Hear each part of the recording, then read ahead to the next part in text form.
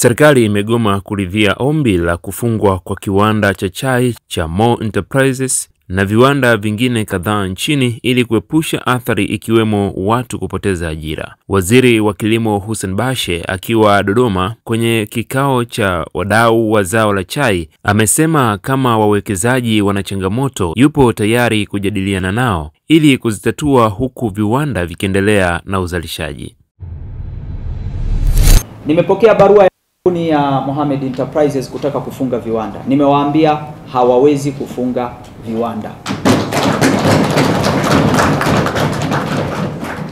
Tujadiliane other options, lakini sio kufunga nini viwanda, kwa sababu kwetu bado sekta ya chai ni muhimu kwa ajira za watu, lakini kwa vile vile umaskini. Binafsi ninaamini kwamba leo nikienda Rungwe kama wakulima wa Rungwe wangekuwa hawana mazao mengine, umaskini ungekuwa ni mkubwa mno kwa hali ya chai ilivyo. Lupembe hali ingekuwa mbaya sana.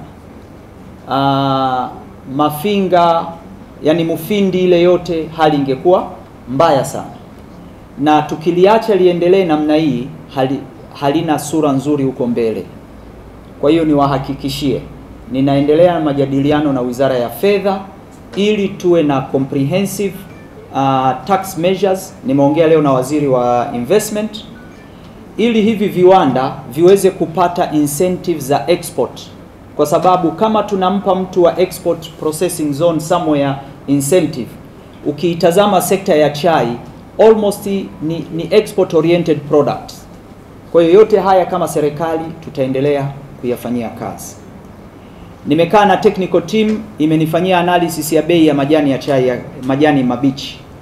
Kwa numbers maana yake bei inatakiwa ishuke, lakini nimewaambia bei ya mkulima haitoshuka, tuta maintain bei ya mwaka jana.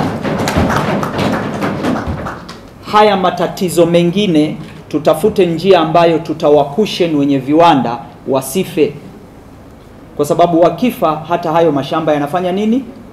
Yataenda yataenda kufa.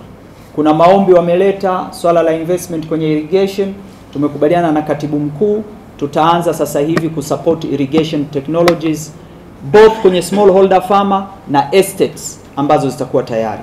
Tutasaidia kwa sababu sio dhambi serikali kumsaidia mkulima mkubwa anayelima shamba kubwa kumsaidia support ya miundombinu ya umwagiliaji, kwa sababu at the end of the day hili zao litakalozalishwa ni zao la Tanzania na ndio njia pekee tunaweza kuwaondolea watu wetu wetu wetu umaskini.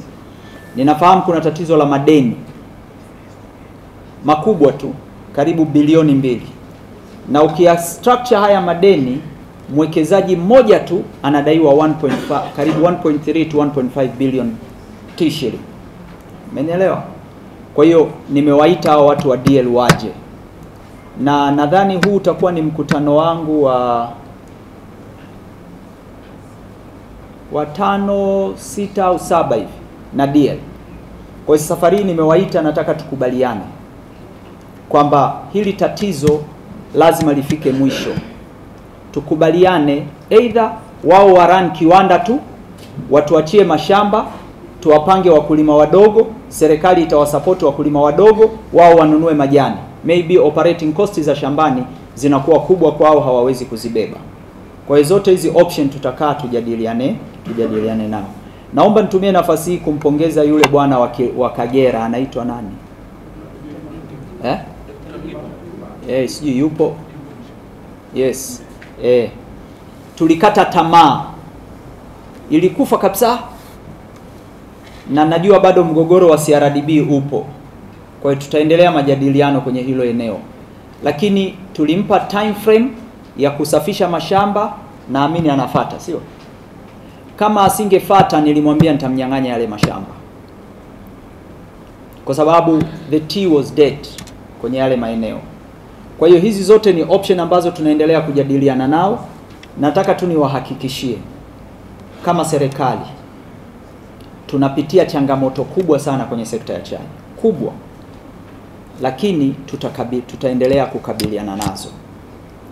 Kama mazao mengine yalivyo, na niwahakikishie leo kwenye request yao walio present ni kwamba serikali itakapokuja kusimamisha uh, ruzuku ya mbolea huko mbele, sekta ya chai ipate ruzuku kwa miaka mingine mitatu minne mitano, that's not a problem. Sisi tutakubaliana, tutafanya.